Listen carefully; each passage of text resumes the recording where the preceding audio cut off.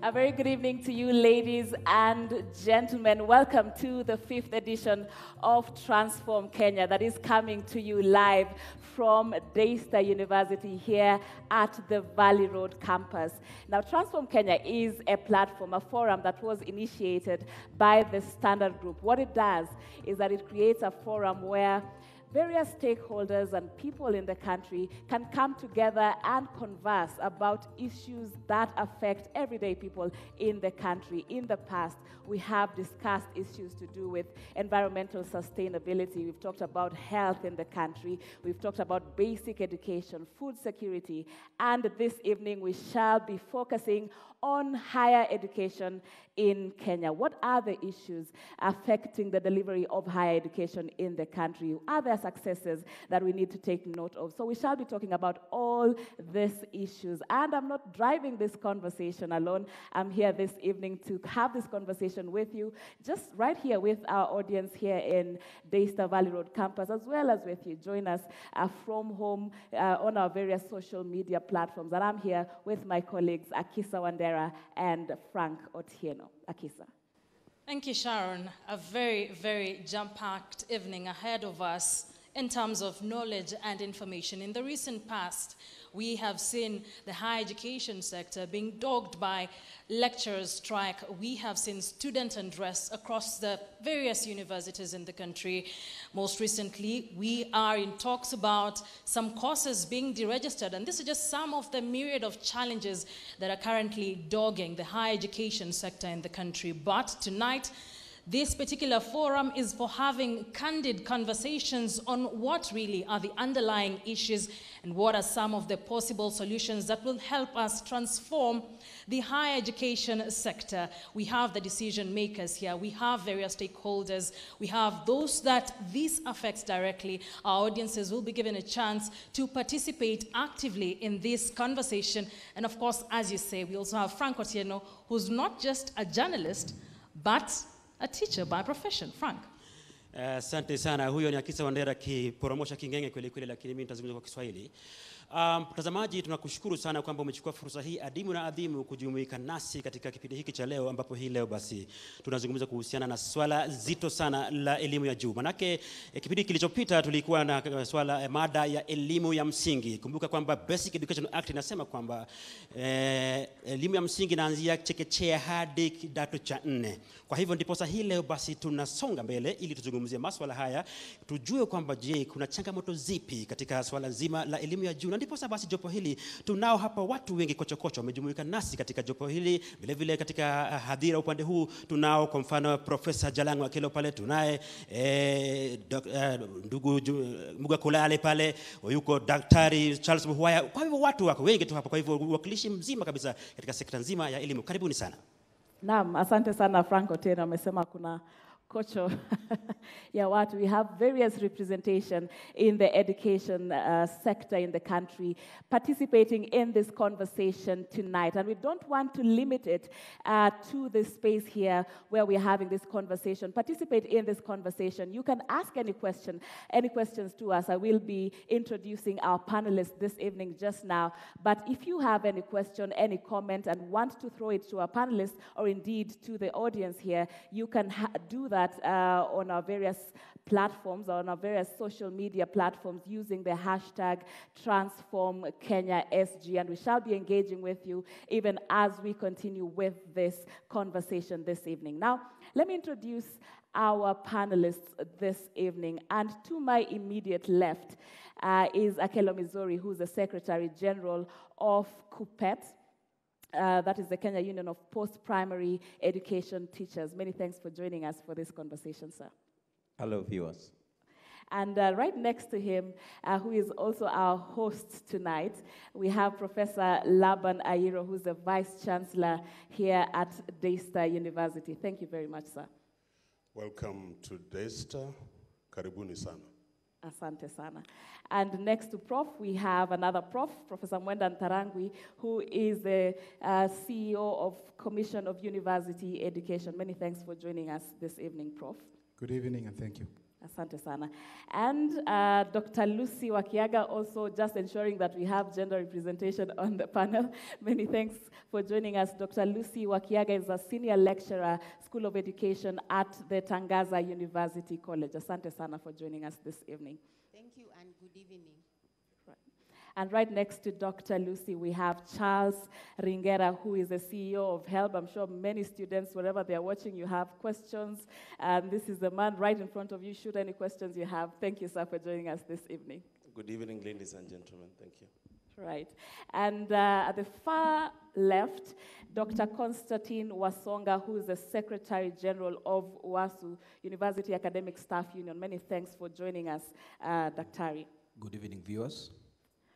Right, and we're just going to straight away kick the ball rolling. And before I do that, let me just appreciate our partners who made this possible. Daystar University, where we are hosted uh, tonight, for being our partners in making this possible. Asante sana.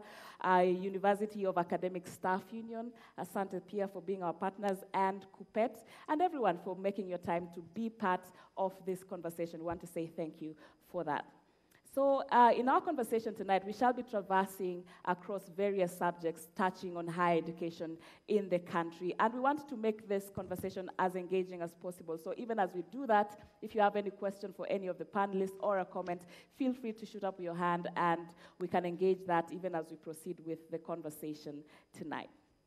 And I want us to just kick the ball rolling by talking about a big question. When we were preparing for this show and asking what are some of the big issues, uh, asking students, asking the stakeholders that they feel affect higher education in Kenya. And one thing really stood out is the issue to do with quality of education.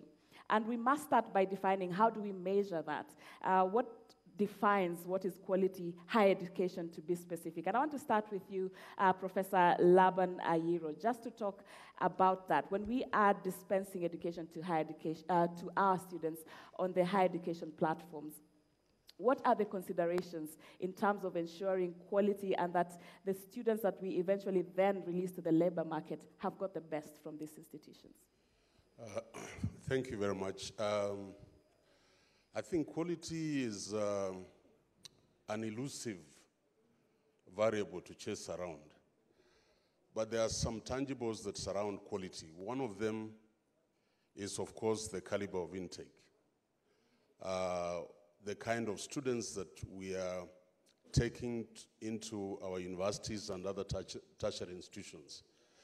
And I think for us in Kenya, we can vouch for quality of the kind of students that get into our universities. Then there is the aspect of the human resource, the capacity of the faculty will determine the quality. The facilities, the infrastructure uh, determines quality. And uh, the elephant in the room is the financing of higher education. Uh, affects quality. Apart from remuneration of uh, the faculty, there is, uh, of course, the general running of the university. So quality uh, on the onset in Kenya in higher education is in abeyance. Uh, just scan your eyes through the universities in Kenya. And some of our universities, if you just take the aspect of infrastructure, some of our universities have, uh, are so lacking in infrastructure that some of the high schools seem to be better positioned in terms of infrastructure. Yes. So the kind of education that institution would give is obviously going to be of poor quality. I mean, how many universities in this country have amphitheaters like this? Uh, go to that other university. What are the chances that they will get the exposure that we are getting tonight at Daystar? So quality is something this country must have a Marshall Plan to address. Right. Yeah. Right. And some of the other big questions touching to quality being delivered is as a that has come up as an issue is the number of institutions that we see mushrooming in the country. We have so many universities. In fact, we have statistics for that. At the moment, we have a total number of 90,587 total institutions from uh, elementary all the way to tertiary and university institutions. Now, specifically, and this is according to the Kenya National Bureau of Statistics, we have 74 universities in the country at the moment. And this is coming from, I remember just a few decades, maybe two decades back, that you could count the number of universities, you know, just on one hand. And let's talk about that. What is driving this, uh, you know, mushrooming, this multiplication of uh, institutions? And is there quality control? And this is a question that I'd, I'd like to pose to you, Professor Mwenda. Uh, the process in actually chartering these institutions and the necessity of it. Thank you, Sharon. Uh, I would say that uh, we went through a phase in the last uh, five years where we had uh, a number of universities that uh, came to being. Uh, we were grappling as a nation with the issue of access and giving people an opportunity to go to universities in Kenya. Uh, before 2012, you know, we had very few uh, universities, and it became clear that we needed more universities.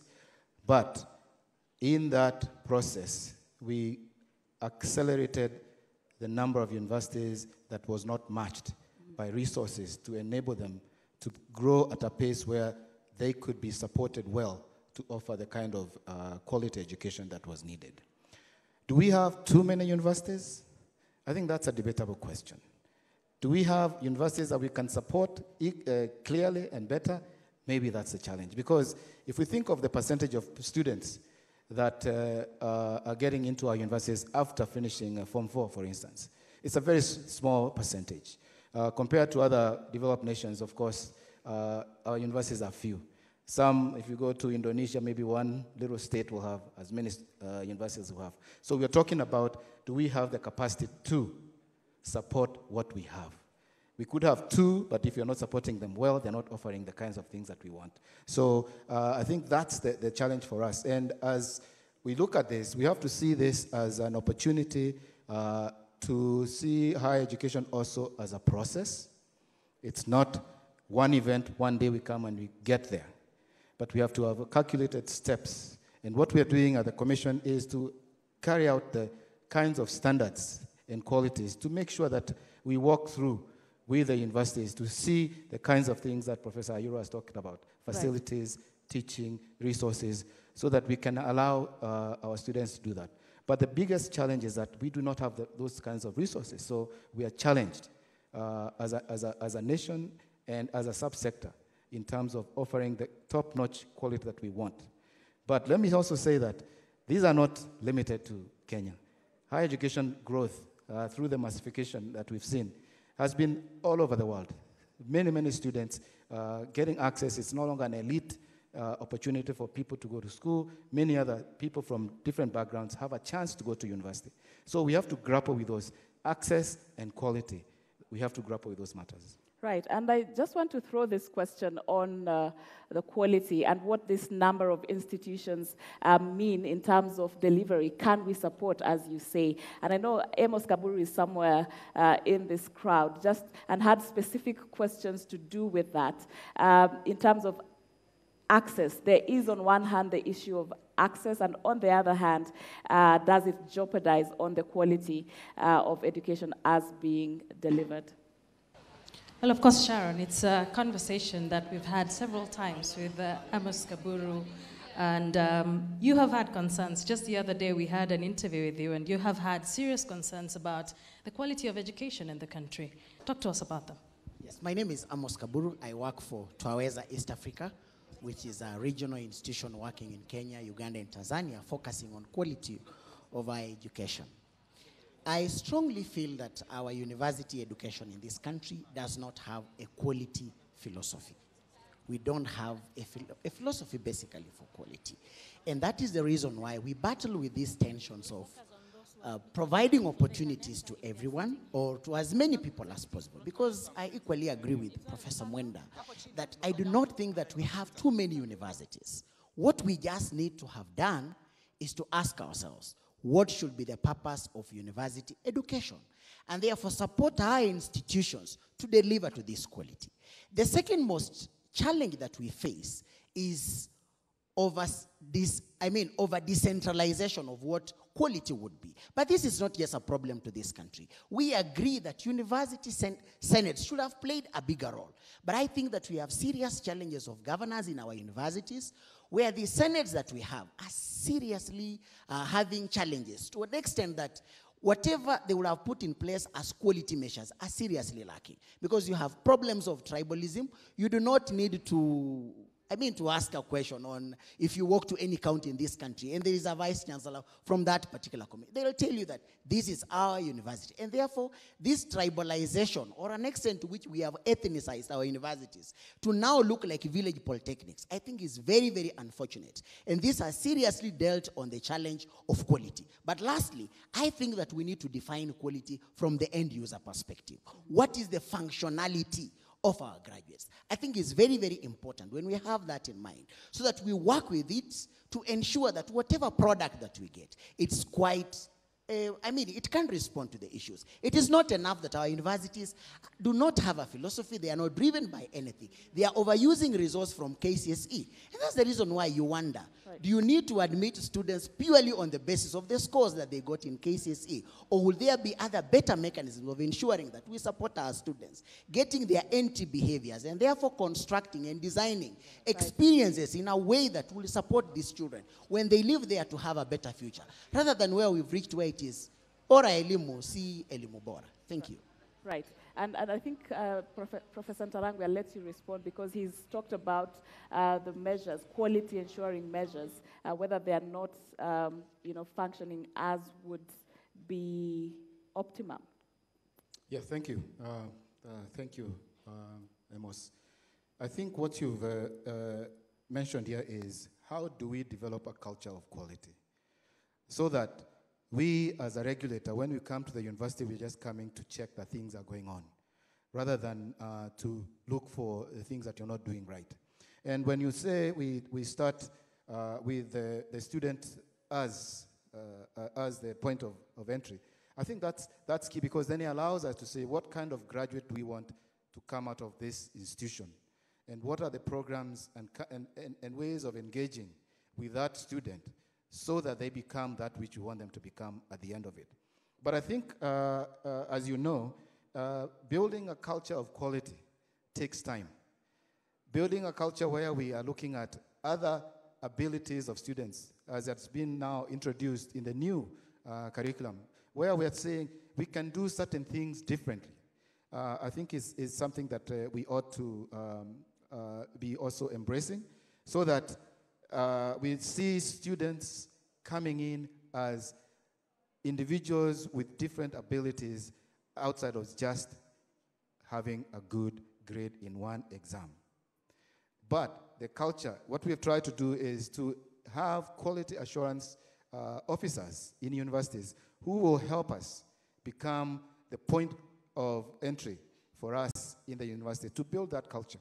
But it also starts with the teachers in the classroom, the students themselves asking for the, the, the, the, the kinds of uh, teaching that they want to have so that they also raise the bar. As the teacher raises the bar, the students raise the bar, the administration raises the bar. So our work as a regulator will become to see, yes, you've done what you've said uh, you're doing, and we build that culture over and over. But I also want to say that it's not just at the university.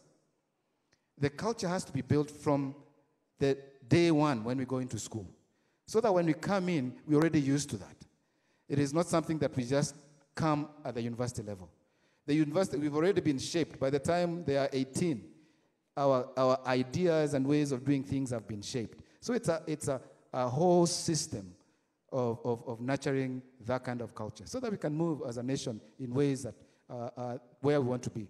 But also, let me say that even as we talk about this, we have a very good uh, education system. We just want to make it better. If you traveled around, uh, even in the region, you'll know that we have uh, something that others uh, also would like to have. But we don't stop there.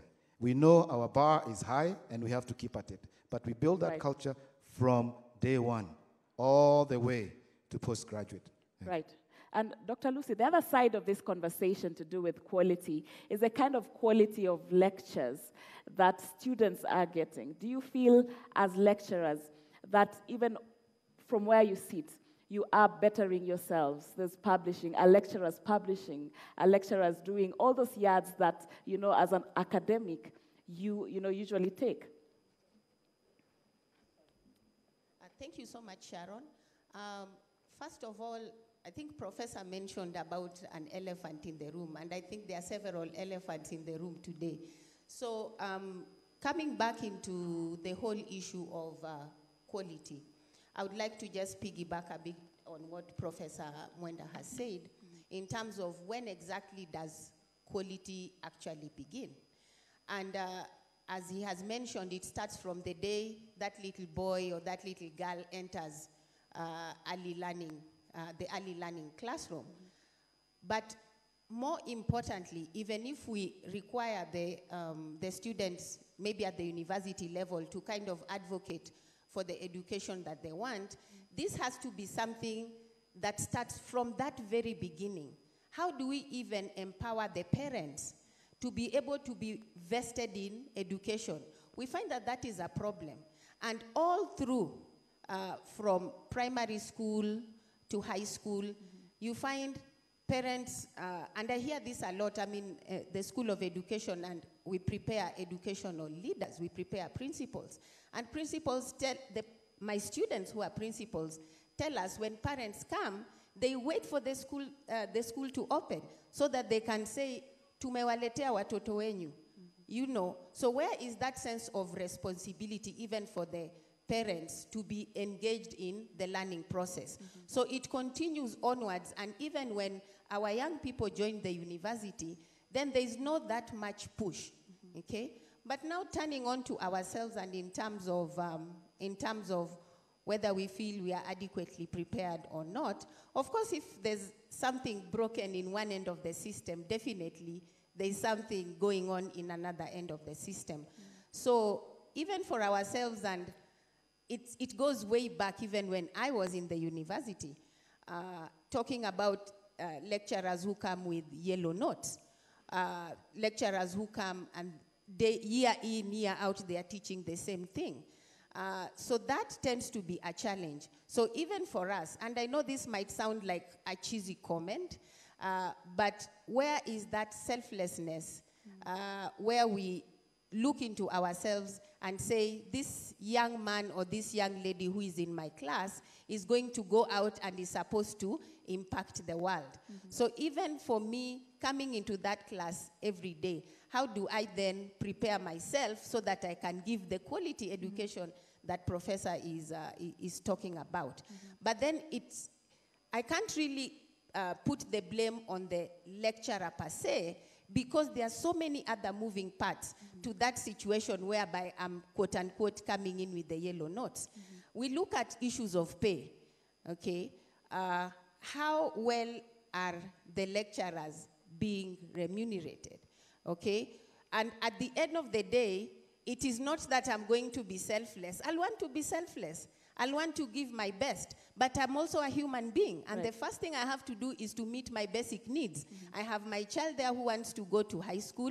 I have to make sure that school fees is there. So what am I going to do? Mm-hmm. I'll be at Daystar, I'll be at Tangaza, I'll be at University of Nairobi. I'll be moonlighting mm-hmm. so that I can make that extra coin. Right. So then it's a push and pull for myself in terms of what is really important. And at the end of the day, if I cannot meet my basic needs, it will be very difficult for me to say, let me give selflessly to my students. Right. And because of those other variables that I'm talking about, you find that we are not able to meet what CUE has put for us, that you have, for you to advance and to be ranked, mm-hmm. you have to publish, you have to do community service, you have to do this and that, mm-hmm. because we are too, too busy trying to find income to support ourselves. Right. So there are so many moving parts to that kind of uh, situation. Right, and you've touched largely uh, on matters to do with motivation of the teachers and the lecturers, which is what where I want to bring in Dr. Wasonga, uh, you know, as a voice representing the academic staff. How important is it, and to what extent does this, you know, the motivation of the lecturers and the teachers, then affect the quality of education, higher education in Kenya? Thank you very much. I want to say that a demotivated lecturer cannot deliver quality education. Lecturers in public universities are demotivated because they are working under difficult conditions.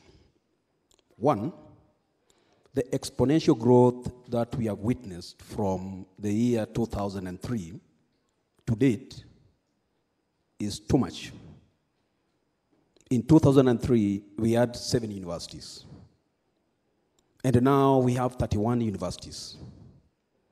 This growth has not been matched with the facilities in our universities. This growth has not been matched with the number of lecturers in our universities. I want to give you an example. The last class I taught, I had 1,200 students. That was a common cause. Even if you teach like Jesus Christ, you cannot deliver quality education because that is a market.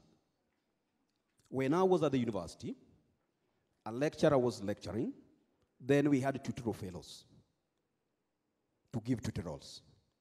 But nowadays, what is happening in our universities, tutorial fellows have been turned into lecturers. And those are, that is a training position. And this is where I followed the Commission for University Education we have numbers, the number of lessons that is supposed to be taught by tutorial fellows, the number of lectures that are supposed to be taught by assistant lecturers and graduate assistants. But universities are giving these people full load. In that situation, you cannot offer quality education. I want to say you can also not offer quality education because of manage- mismanagement. Our senates are not independent because quality education is supposed to be monitored from the Senate. But if senators are appointees of one individual, and now university managements do not want senators to be elected from faculties. So it means when they go to Senate, they cannot even question bad policies because they are appointees of one individual. When they go to Senate, it is yes. Whether it is wrong, the vice chancellor said. And there is a reason why professors were supposed to sit in Senate. Because professors are at the same level with the vice chancellor. If you are doing something wrong, this is your peer, he will tell you this policy is wrong. But now, check all the university statutes. They don't want deans to be elected. They don't want uh, directors to be elected. They want to appoint their students. That is where the problem is. And with that system, you will not get quality education. Two, a lecturer that is underpaid will moonlight. Lecturers are moving from university to university. And this is the reason why you realize during graduation, campuses are full. Students are looking for marks. Marks are missing. I want to say that there is nothing like missing marks in our public universities. Lecturers are overworked. How can I mark 1,200 scripts and you expect me to concentrate and deliver quality education? Let us not joke. All right, and I want to bring you in at that point. Uh, we'll, be, we'll be looking at a story uh, that shows the financing of uh, higher education and how HELB comes in in just a minute. But even as we are talking about the motivation and the place of you know, teachers and lecturers, I want to bring you in, sir, just to talk about that. Are we in a place where business is taking precedence over uh, you know, the quality of education with all these sprouting uh, institutions? And does it mean then that there's more workload for the teachers? Are you now doing quantity, doing a lecture here, a lecture there, lecture everywhere, as opposed to focusing on the delivery to students? i think uh, uh, so many things. Uh, motivation of the teacher, the student numbers versus the, the workload, and uh, this one must affect the quality of learning. But more so when you have to have everybody to go to university, then you must have lecturers to teach them. Then the schools must also produce those numbers to go to the university. So that is where the issue is. But I want uh, uh, to deviate a bit by saying that what we see, what impacts again its quality of education in this country is that we are thinking about producing an economist who is becoming a teller in a bank. Why do you have to produce an economist who is becoming a tout? Uh, you know, uh, that means that uh, people are going there just to get those degrees because even after getting them, they will definitely not have anything meaningful. So this is where the issue is. Right. It would be very, very important for us to also regulate uh, the number going to the university so that we devote a lot of time to key areas which require uh, uh, employability of those who go to uh, get a, a, a course, for example. Why must we have everybody going to the university when we don't even have plumbers, for example, to fix what we have in the society? Uh, I think this is where we, we should devote our time. Right. And I want to bring out Mr. Ringera into the conversation regarding financing of higher education for students, which is very important, and affordability versus, you know, uh, access in terms of uh, financial access for students. And a big question often has been regarding the fairness of distribution of these funds. Perhaps you can talk to us about the process involved and what ensures that the funds actually get, get to the students who most need it. Uh, thank you, Sharon.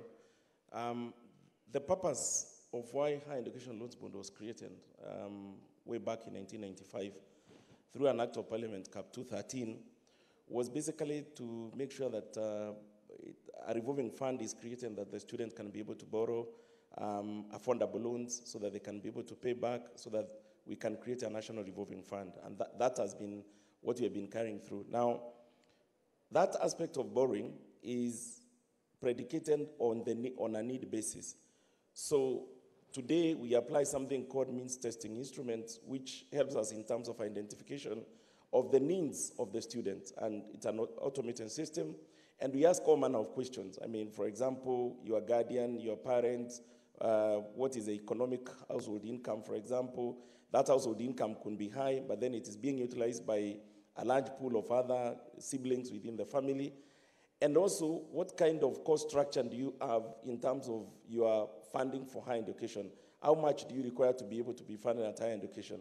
Now, using that means testing instrument, then we are able to uh, decide how much uh, uh, you know, uh, a beneficiary of a loan should be able uh, to get against a portfolio of many others. So it runs around, uh, currently we are funding between uh, 42 and 60,000, with the most vulnerable um, applicant getting all the way up to 60,000. And even the orphans, you know, or the ones who are coming from complete abject poverty will then be able to get a, a, bursary funded by government, which is not a loan that is not funded back on top of the 60,000 loan that they, uh, they, they, get. And therefore, we have a pool today, like now you have seen 90,583 will be joining university. So out of the ones who will apply, not everybody of the 90,000 will apply because some of them the parents can be able to afford. But on, on, on that- that 90,000, we expect about 80,000 will be able to ap- apply. Now, depending with the amount of funds we get from Exchequer and the ones that has removed from loan recoveries, we then put a pool and say, for the first time applications, they will require this amount of money. For example, in the year that we are um, 18, 19, um, we are using up to about 3.1 billion to be able to go to first-time appli- applicants. Now, that 3.1 billion will then be shared according to the number of applications, depending with their need levels. So we will spend it according to the way the machine will tell us what is the need level of a particular applicant. And that is the only way we have been able to uh, put equity and access uh, to uh, loan applications. equity in terms of using um, the means testing instrument, and also being able to spread the application process from wherever you are, even from your phone, from any of our Huduma centers, from the universities themselves, you can be able to apply. Again, that is increasing access of, of availability of the funds to higher education. Right. And at this point, uh, before we take the first break as we go on uh, the KTN Leo, our Swahili news, then um, I'm inviting questions and comments regarding quality of higher education as well as the access to the HELB funds. I'm sure we have students and lecturers as well. There was some passionate concerns from the lecturers and teachers. So we'll just take a few, then we'll take more when we come back from the break. Akisa. All right, over to the audience now. We'll definitely start by your name and introducing yourself before giving your comment. Yes, please. Thank you, moderator. Uh, my name is Dr. Harry Osore. Um, I started off my career in um, university. In the 80s, I was teaching in the university. And then I moved into global health. So I have some comments on the issue of quality. Uh, the whole issue of quality of higher education um, started off in the 80s. Uh, and I think the professors who are sitting in front here know the history. Um, way back around about 84, there was a debate in France on how to assure quality and avoid bureaucracy um, in the universities.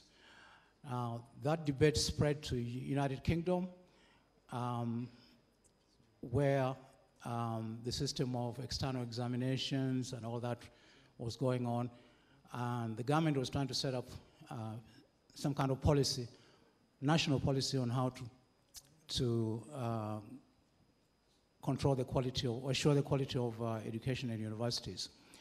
Now, fast forward, that whole development, including the United U- USA, where they left the whole system to the universities, um, has spread around the world, where uh, basically there are two systems. We have the internal quality assurance, uh, and you have the external quality assurance. And universities are required to have policies on how to control uh, or to ensure uh, quality of education internally. And in fact, um, if I can mention an example, um, Daystar is doing very well on that because I know that in your internal systems, you have insisted that you have uh, what they call the tracer surveys following your graduates, your recent graduates, into the uh, job market to see how they are doing. And as a result of that, you're able to, I think the first one you did was 2010, and the last one was 2015. As a result of that survey, you're able to see how your graduates compare with other graduates from other universities. Um, and that feeds back to the universities, to, uh, to the university departments, um, to see how uh, lecturers can improve the way they perform um, their work. So, um, I'll request that we just make it very precise. yeah, I'm going to be, I'm going to be very short. Now, what I'm saying is, we we need. I know we have Commission for University Education, which really cannot police uh, the way universities deliver quality education. Um, they are ensuring that you know universities have facilities, they have a library, and they have um, you know teaching staff and what have you. But we need to switch back and emphasize what the individual universities are doing. University of Nairobi has a directorate for quality assurance. Is it functional? Strathmore University was very responsive way back in 2003. They actually set up something called QMS, Quality Management System. So the action seems to be more in the private universities than in the uh, uh, you know, public universities. The need for quality education is because now graduates cross borders and they get employment in other places. So we need to ensure that the quality of- that we are delivering is wholesome. Thank you very much to ensure that quality. Okay, we, we of can only have one question Yes. before we go on break. So, quick We question uh, and answer. Less and than then- five yeah. minutes to go on a break, so kindly be very, very. I'll be very brief. Thank you so much. My name is Moiga Rugara. I'm from UASU. I'm a lecturer at JKUAT. I want to go to CUE immediately. I can confidently say that since CUE was incepted, it has been groping in dark concerning quality of education. One of the things they did, they allowed commercialization of education. They started asking for money to approve courses in the university. And as long as the university can afford to pay the 300,000 or 500,000, they approve a course. The universities that did not afford or did not, did not contact them, they have now declared all those courses useless. Now they are laughing all the way to the bank as the, as, as the universities are looking for them to pay for those courses so that they can declare them now good. Eh, That was in the papers. Now I want to ask, they have, they have, they have now said that they only want PhD only lecturers. The people with the PhD in Kenya are less than 4,000. Nairobi University requires 2,500 lecturers. Kenyatta University requires 1,500 lecturers. So all the 4,000 lecturers can only fit in, in two universities in Kenya. Are you going to close all the other universities? Number three, can you tell us what you have done to enhance infrastructure in public universities so that you can have 100 transition in in, uh, of students into public university. Now, when they allowed commercialization of education into public universities, the, the, the, the, first chancellor started declaring less students for government-sponsored students and, and now leaving the rest of space for pre- self-sponsored students. Now, they have reversed the, after the Matiang'i reduced the, the, the C plus from C plus at above, they have reversed the process. They are now killing the public universities by taking all the C plus, or uh, most of the C plus to private universities. They have just reversed the, the, the, the process. Now we have CGU private, public, response, and student. Before we had the private, public, private self-sponsored students. So I think there is a lot of confusion in CUE, and as people in charge of quality, they need to come up and declare their interest. Okay, uh, we'll come.